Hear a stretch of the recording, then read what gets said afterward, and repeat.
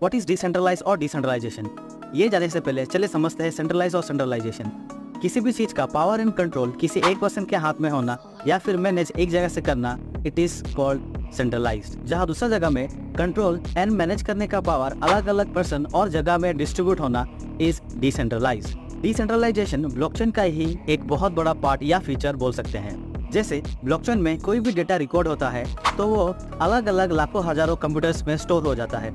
और आपका डेटा का कंट्रोल 100% आपका पास में होता है। जहाँ सेंट्रलाइज सिस्टम में आपका डेटा का कंट्रोल आपका पास में 100% नहीं होता। वीडियो अच्छा लगा तो वीडियो को लाइक कीजिए शेयर कीजिए कमेंट कीजिए और चैनल को सब्सक्राइब कीजिए।